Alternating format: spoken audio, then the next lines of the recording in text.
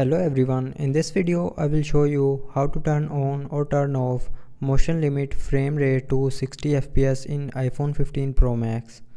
So before starting the video don't forget to subscribe the channel and also press the bell icon.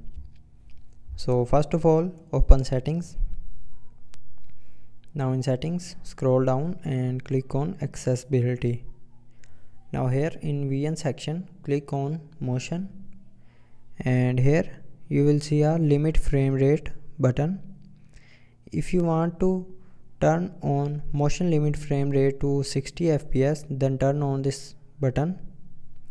And if you want to turn off motion limit frame to 60 fps then turn off this button. So i hope you liked the video. Thanks for watching